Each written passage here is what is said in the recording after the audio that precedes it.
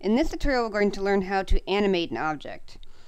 And if you remember last time we were using the light uh, the light table found in the drawing view and we were using the inks to uh, animate our bird. And I've gone ahead and animated through most of this bird right here. And I've left a few blank to show some uh, tips and tricks on how to more quickly and more efficiently animate your project. So here's a blank frame right here between two other frames, and I can use F and G to cycle between those frames. And so this one's blank, I have the roughs underneath being shown with the light table, but I can also use um, a tool called the onion skin. And right here, this gray and red icon is our show onion skin. If I click it, I can now see two frames ahead and two frames behind as shown by the uh, timeline. So I'm actually going to grab that blue handle and drag it back one and drag the, do the same thing to the other side. So now I have two different colors and then the roughs underneath. I'm going to go ahead and actually turn off the background so I can see what I'm looking at. So the gray is our roughs. The green is our future frame, and the red is our previous frame. So with the onion skinning on, I can actually, with the aid of the roughs, find a middle ground of where I want my drawings to go. Let's see. For example, we have the green right here, and the red right here, and the gray is the middle. So I can see where I want to draw my line. And I can use these roughs to kind of get a good idea of where the middle really is, if that's how I want to time it.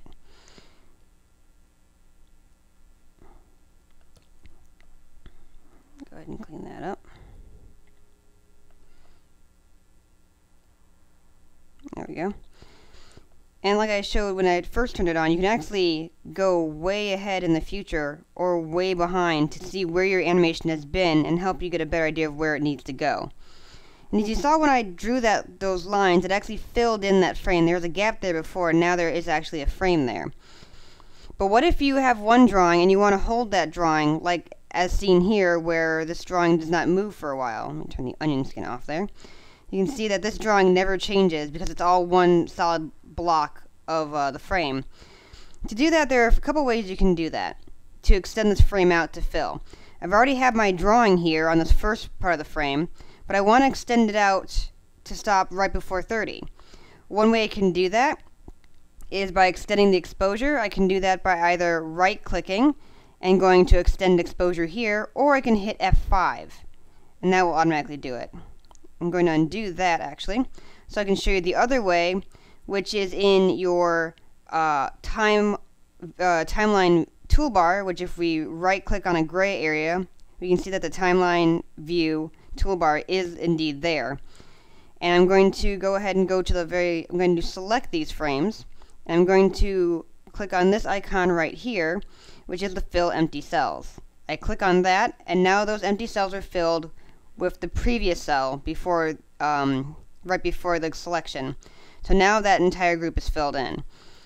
Now an important thing, let me zoom out here, turn off my roughs. The important thing about this animation is that if I play it in the drawing view, I can see the ticker is moving, but I can see nothing is happening.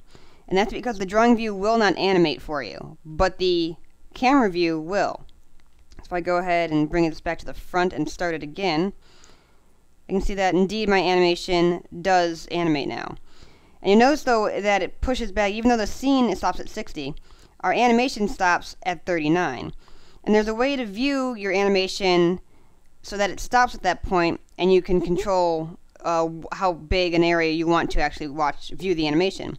So we're going to go ahead and in the timeline view, we're going to use this toolbar right here and I'm going to tell it to stop on the ticker which is at 39. So now my stop is at 39 and my start is at 1. I'm going to go ahead and loop the animation and play.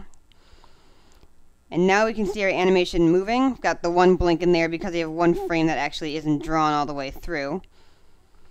And if you are doing this animation, and you decide you don't, you'd like to move ahead a little bit faster and you don't want to uh, draw all the frames in from the bird, from the hawk roughs, you can go ahead, and I've already done that for you here. I've got a partially completed one and an, a fully completed one. You can just drag the hawk inks over from your uh, library view and drop it onto your timeline view. If I turn this off, we should have our full animation.